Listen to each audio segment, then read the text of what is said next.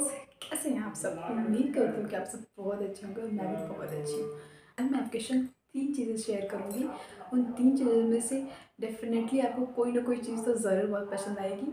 वो स्पेशली हमारे किचन में ना कभी कभी ठंड के सीज़न में होता है कि मिर्च मसाला में खाने का थोड़ा ज़्यादा मन करता है। सभी को करता होगा स्पाइसेस खाने का। तो ठंड में ना बल्क में मिर्च भी आ जाते हैं। अब वो मिर्च को हम स्टोर कैसे करें? बहुत बड़ी प्रॉब्लम होती है हमारे लिए। उसके संग में उसकी कोई डिश बना के भी आपको दिखाऊँगी।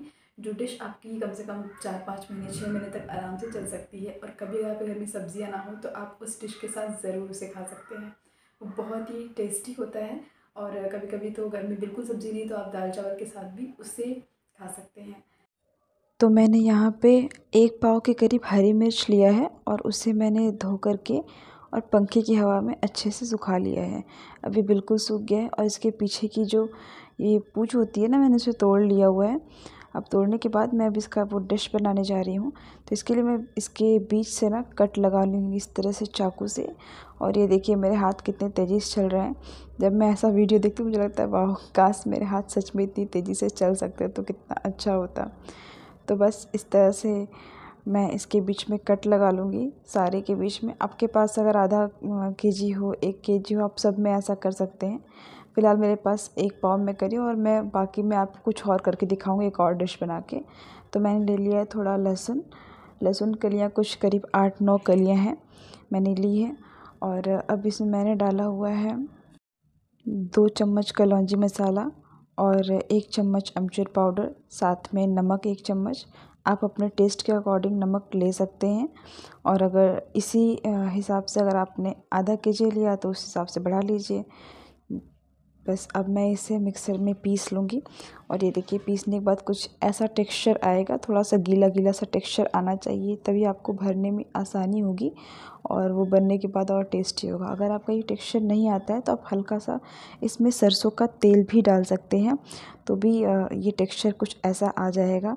अब बस इसके, इसे मैं भर लूँगी और संभाल के भरिएगा क्योंकि इसमें थोड़ा सा हाथ जो होता है वो जलता है। कुछ लोगों को मिर्च से एलर्जी होती है तो उनके हाथों में जलन होने लगती है। मुझे तो एलर्जी नहीं है तो मैं ऐसे ही कर रही हूँ। अगर आपके हाथों में एलर्जी है तो आप हाथ में पॉलीथीन या फिर ग्लव्स पहन लें और अगर, मान लीजिए बाई चांस आपने कर दिया और बाद में अगर आपके हाथ में जलन हो रही हो तो आप हाथ को अच्छे से धुल करके हाथ में घी लगा लीजिए कुछ ही देर में। ये आपका जो जलन है वो ठीक हो जाएगा। ये पुराने ज़माने के नुस्खे हैं, घी से जो मिर्च की जो तिक्खी तीखापन होता है ना, वो कम हो जाता है। ऐसे ही कभी कभी हमें जब मिर्च को जब तलना होता है ना, अगर उसका तीखापन बिल्कुल नहीं चाहिए तो आप उसे घी में फ्राई कर देखिए उसका जो तीखापन है वो बिल्कुल निकल जाता है। तो ये एक रेमेडी है नेचुरल रेमेडी आप इसे ट्राई कर सकते हैं। तो बस इस तरह से मैं सारे मिर्च को मैं भर लूँगी। और ये देखिए, फिर से मेरे हाथ कितनी तेज़ी से चल रहा है ना। ये जब मैं देखती हूँ तो मुझे बहुत अच्छा लगता था। वाह काश मेरे हाथ सच में इतनी तेज़ी से चलते तो मैं कितने सारे काम एक दिन में कर लेती। पर अफसोस ऐसा नहीं होता है। तो बस इस तरह से मैं इसे भर लूँगी। आप भी ध्यान से भरिएगा, क्योंकि हाथों में जलन होना स्वाभाविक है इसमें। ठंड में ना, मिर्च खाने का मज़ा ही कुछ और होता है, और कुछ लोगों को तो हरी मिर्च बहुत ज़्यादा पसंद होती है। तो ये तरीका जो है, इससे आपका मिर्च बहुत ही सेफ़ रहेगा, और आप एक बार बना लेंगे तो आराम से आप इसे महीनों खा सकते हैं, पूरी ठंड खा सकते हैं। तो बस इस तरह से मैंने इसे भर लिया और ये देखिए, मेरा भर के रेडी हो गया है। अब यहाँ पे ना मैं इसमें एक नींबू काट रही हूँ। आप अगर आपको थोड़ा तीखा बिल्कुल कम चाहिए तो आप यहाँ पे दो नींबू ले लीजिए और मुझे थोड़ा सा तीखापन चाहिए था तो मैंने एक नींबू लिया है और बस मैं इसका रस निकालूँगी। और यहाँ पे आप हल्का सा चाहे तो ऊपर से नमक भी मिला सकते हैं, क्योंकि इन सब चीज़ों से ना जो मिर्च का तीखापन है वो बिल्कुल कम हो जाता है और मिर्च खाने में बहुत ही टेस्टी लगती है। जब ये बनती है तो बिल्कुल लगती ही नहीं कि ये मिर्च लगती है इसे ये किसी चीज़ की सब्ज़ी है इसमें थोड़ा थोड़ा तीखापन है और खट्टापन है, सारे टेस्ट आते हैं एक साथ, वो कलौजी वाले टेस्ट तो बहुत ही अच्छा लगता है। अब मैंने पैन में ले लिया है थोड़ा सा सरसों का तेल और बस इसे मैं फ्राई करूँगी। ध्यान दीजिएगा, मैंने यहाँ पे हल्दी डाला हुआ है और हल्का सा ऊपर से नमक भी आप यहाँ भी डाल सकते हैं। पर ये चीज़ है, नमक को बैलेंस रखिएगा कि ऐसा ना हो कि दो तीन जगह नमक डालने से वो नमक ज़्यादा हो गए। अब मैं यहाँ पे इसे चला करके, मैं इसे थोड़ी देर के लिए ढक करके पकने के लिए छोड़ दूँगी। और हाँ फ्लेम को लो टू मीडियम रखिएगा कोशिश करिए कि लो पे ही इसे बनाएँ और जब ये बिल्कुल सॉफ्टन हो जाएगा ना तो ही ये अच्छा बनेगा। और ये देखिए इस तरह से आप इसे किसी भी आप या तो ग्लास जार में रखिए या फिर किसी टिफ़िन वगैरह में रख के अपने काउंटर टॉप पर रख लीजिए। कहीं भी आप इसे रख लीजिए और जब भी आपको खाना हो तो आप एक निकाल के खा लीजिए। कभी कभी घर में कोई तीखा ज़्यादा भी खाता है ना तो उसके लिए भी सही होता है ये चीज़। अब हमारा नेक्स्ट रेसिपी हमारी जो है वो ये है आ, मतलब अगर आप थोड़ी जल्दी में हैं और आपके पास इतना टाइम नहीं है कि आप मिर्च को उतना भर सकें उसमें कलौंजी वगैरह सब कुछ डाल सकें तो आप ये ट्रिक अपनाइएगा ये बहुत ही अच्छा है।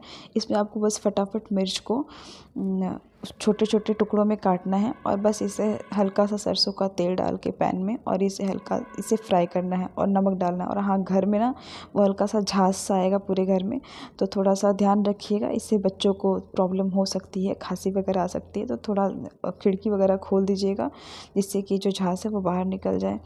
और बस ये इस तरह से जब हल्का सा मैरिनेट हो जाए तो इसे आप किसी भी बर्तन में जब हल्का ठंडा हो जाए तो रख दीजिए और फिर आराम से आप इसे यूज़ करिए। आप कोई भी सब्ज़ी बना रहे हैं, उसमें तीन चार पीस डाल दीजिए, आपकी सब्ज़ी आराम से तीखी हो जाएगी, जब भी भी आपको बनाना होगा। भी मिर्च ना होने पे भी ये काम आता है और महीनों तक चलता सेकेंड चीज़ मैं आपके साथ जो शेयर करने वाली हूँ, वो है दूध। दूध तो सभी लोग लेते हैं। हाँ जी नॉर्मल है ये, सभी लोग लेते हैं। तो मैं ऐसा स्पेशल क्या बताने वाली हूँ आपको? अब मैं ऐसा कुछ जादू नहीं बताने वाली। मैं अपने बच्चे को जो दूध देती हूँ ठंडियों में, उसके ब्रेन डेवलपमेंट के लिए। सेकेंड थिंग वो उससे हेल्दी भी रहता है। थर्ड उससे उसकी बॉडी को गर्माहट मिलती है, जो उसे ठंड में उसकी बहुत ज़रूरत होती है। तो मैं ऐसा दूध आपके साथ शेयर करूँगी, जो मैं अपने बच्चे को देती हूँ।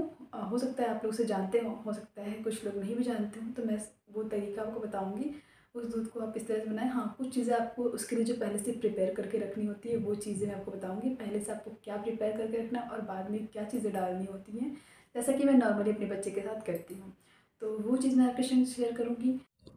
यहाँ पे मैंने ले लिए हैं बादाम। यहाँ पे आप और भी ड्राई फ्रूट्स ले सकते हैं, जैसे अखरोट और काजू वगैरह ले सकते हैं, पर मैंने सिर्फ़ और सिर्फ़ बादाम लिया है। ये ब्रेन डेवलपमेंट के लिए बहुत अच्छे होते हैं। और गर्माहट भी रखते हैं ठंड में। तो इसे मैंने हल्का सा घी डाल करके इन्हें अच्छे से फ्राई कर लिया है और फ्राई करने के बाद इन्हें मैं ठंडा होने के लिए छोड़ दूँगी। और अब हम इसका अच्छे से एक पाउडर बना लेंगे ग्राइंडर में डाल के और फिर आप इसे अपने काउंटर टॉप पे या फिर किसी ग्लास जार में अच्छे से रख दीजिए। और जब भी आपको बनाना हो, आप इस तरह से यूज़ कीजिए। तो यहाँ पे मैंने दूध लिया है। दूध जितना आपको चाहिए, उसे थोड़ा क्वांटिटी में ज़्यादा लीजिए, क्योंकि जब ये उबलता है ना, थोड़ा कम हो जाता है। और यहाँ पर मैंने हल्का सा हल्दी डाल दिया है, जो कि ठंड में आपको पता ही है ये हमारी इम्यून सिस्टम को कितना स्ट्रॉन्ग रखता है। और हल्दी के साथ साथ मैंने वो पाउडर डाला है, और अब मैं इसे उबलने दे रही हूँ। इसे एटलीस्ट कम से कम पाँच मिनट तक इन्हें उबलने दें। उसके बाद हम इसमें ऐड करेंगे केसर। केसर अगेन आपको पता है केसर हमारे लिए कितना फ़ायदेमंद होता है ठंड में। तो बस यहाँ पे मैंने ऐड कर दिया केसर। तो अब इस दूध में केसर, घी, बादाम और आपके जो भी ड्राई फ्रूट्स हैं वो सारे हो गए। और बस इन्हें आप अच्छे से बॉईल कर लीजिए। और बॉईल हाँ इसमें हल्दी भी है। तो आप इसे बॉईल कर लेंगे। जब ये बॉईल हो गया, जितना थोड़ा सा गाढ़ा सा दूध हो जाए अच्छा सा, ताकि आप, आपका बच्चा अगर थोड़ा ही पीता है, या फिर घर में बड़े बूढ़े भी जो भी हों, इन्हें सभी लोग ट्राई कर सकते हैं। तो बस जब थोड़ा गाढ़ा सा हो जाए तो फिर आप इसे हल्का सा छन्नी से छान दीजिए। जो थोड़ा मीठा पसंद है तो हल्का शुगर डाल सकते हैं, या फिर आप छानने के बाद इसमें थोड़ा सा आप गुड़ भी ऐड कर सकते अगर आपका बच्चा ज़्यादा छोटा है तो आप इसे बॉटल में भर के उसे दीजिए रात को सोने के टाइम। ये उसे बहुत ज़्यादा हेल्प करेगा। थर्ड चीज़ मैं शेयर करूँगी, एक ऐसा हैंगर जो नॉर्मली हमारे घर में अगर छोटे बच्चे हैं या फिर बड़े भी हैं तो उनके लिए बहुत यूज़ होता है कपड़े सुखाने वगैरह के लिए। ठंड में जो धूप भी काफ़ी कम जगह में आती है और धूप काफ़ी कम मिलती है कम जगह में कपड़े बहुत ज़्यादा हो जाते हैं तो छोटे छोटे कपड़ों को सुखाने के लिए मैं आपके साथ ट्रिक शेयर पर इसमें मैं कुछ अपनी ट्रिक लगाऊँगी। तो फिर चलिए शुरू करते हैं। और हाँ अगर आपको मेरे चैनल पे कोई भी चीज़ अच्छी लग रही हो, कोई भी जानकारी अच्छी लग रही हो तो प्लीज़ चैनल को लाइक, सब्सक्राइब एंड शेयर ज़रूर करिएगा। तो यहाँ पे मैंने ले लिया है एक नॉर्मल सा बॉटल, ये सफ़े घर पे आता है। कोल्ड ड्रिंक वगैरह का बॉटल तो आ ही जाता है घर पे। बहुत सारे बॉटल्स हो जाते हैं। तो मैंने ये बॉटल ले लिया। यहाँ पे मैं मार्क लगा रही हूँ थोड़ा सा नीचे से। यहाँ से आप भी मार्क लगा लीजिए, अगर आपको बनाना हो ये चीज़ तो। और यहाँ मैंने होल कर लिया है गरम करके पेचकस या कोई भी ऐसी चीज़ जो थोड़ी नुकीली उसको गरम करके आप आराम से इससे होल कर लेंगे। और ये मेटल की चूड़ियाँ हैं मेटल की चूड़ियाँ सबके पास ही होती हैं आई थिंक और कलर उतर जाने के बाद ये बहुत ही ख़राब हो जाती हैं तो इसे वेस्ट करना है करने से पहले आप ये चीज़ देखिए आपकी बहुत हेल्प आएगी। तो इसे मैंने ऐसे हाफ़ हाफ़ कट कर लिया है।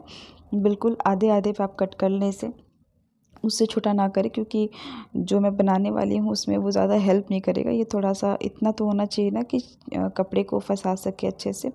तो बस आप इस तरह से चूड़ी को कट कर लीजिए। यहाँ पे मैंने करीब पाँच चूड़ी ली थी, जिससे मेरे दस एंगल्स बन गए थे। इसे एस शेप में बनाना है और ये बहुत ही सॉफ्ट होती हैं तो ये हाथ से ही बन जाती हूँ बन जाती हैं।